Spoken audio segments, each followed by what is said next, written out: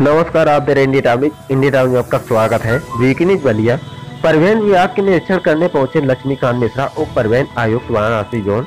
UP जिला बलिया परिवहन विभाग, आज लक्ष्मीकांत मिश्रा, उप परिवहन आयुक्त वाराणसी। से मीडिया कर्मी ने जब वार्ता के दौरान पूछा कि आपके द्वारा जाँच किया जा रहा है, इसमें क्या कमी मिली? तो उन्होंने कहा कि जाँच अभी चल रही है।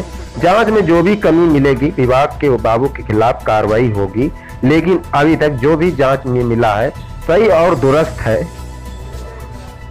एम्बेसडर कार जो है वो सवारी ढो लेकर के चल रही है और वो खटारे की स्थिति में चल रही है इस पर मैं आपसे जानना चाह रहा हूँ। नहीं ये तो यही लोग बताएँगे अभी तो हम इतनी जानकारी हमें नहीं है। जी। ये आप उनसे बताएँ मैं भी पूछूँगा कि क्या बात है इसमें। तो दूसरी बार जब आएँगे विधिवत तब हम ज़्यादा कार्रवाई आज तो ठीक है आपने संज्ञान बता दिया मैं उनसे कहता हूँ इस पर कार्रवाई करते उनसे आपको प्रगत बताएँगे कि क्या हुआ। है कि नहीं है है तो क्या किया था हाँ उस पर कार्रवाई हुई है कि नहीं हुई है? जी। फाइन भेजता है उससे रजिस्ट्रेशन होता है। फिर थोड़े बहुत काम जो पुरानी गाड़ियाँ आती हैं उनका बचता है। तो इनसे अगर ऐसा है तो उनको मैं सचेत करूँगा अपने अधिकारियों को।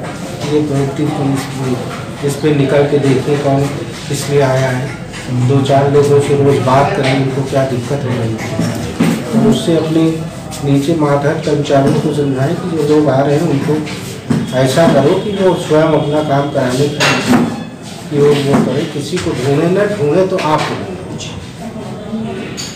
वो और किसी को ना अगर उसको टैक्स जमा करना है तो टैक्स जमा करने वाले बाबू के पास रखे और किसी तीसरे आदमी के पास ले जाए यह कल्चर काफ़ी देखिए काफ़ी हुआ भी है देखिए एक तो जैसे पूरा एक, एक वो हुआ कि जो परिवहन आयुक्त वाराणसी परीक्षा हमारे मेरा कार्यालय बनारस में है मेरे अधीनस्थ कार्य आजमगढ़ और गोरखपुर मिर्जापुर बनारसी मंडल।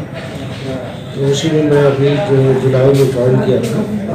तो एक पहली यात्रा है, अपने कार्यालय को देखना, यहाँ के कर्मचारियों से सबसे बात करना। उसके बाद जो हमारा विभागीय काम है, टैक्स वसूल करना, चलान बंद की कार्रवाई, इसी की सरसरी समीक्षा इस स्तर पर हो रही है कि क्या दिक्कतें हैं, क्या कमियाँ हैं, उनको कहीं दूर करने के लिए क्या प्रयास किए जा रहे हैं। फिर और क्या करने की आवश्यकता है? इसी के लिए आज आज जो आप आज देख रहे हैं तो ये कार्यालय एक बात और बात है जो टैक्स पेड गाड़ियाँ जो रोड पे चल रही है वो तो पैसा दे करके अपना टैक्स पेड करके जो है नियमानुसार चल रही है लेकिन जो गाड़ी प्राइवेट में है वो आज सवारियों में चल रही है क्या इस पे सरकार का कोई इस तरह का नियम है ऐसा नियम बिल्कुल नियम है और सुस्पष्ट नियम है कि जो सवारी में चलेगा, उसको सवारी गाड़ी का पैसा देना पड़ेगा, जो प्राइवेट में चलेगा वो प्राइवेट में। लेकिन आपकी बहुत कुछ कैटेगरी जैसे बोलेरो, लेरो है इस तरह की गाड़ियाँ सामान्यतः वो प्राइवेट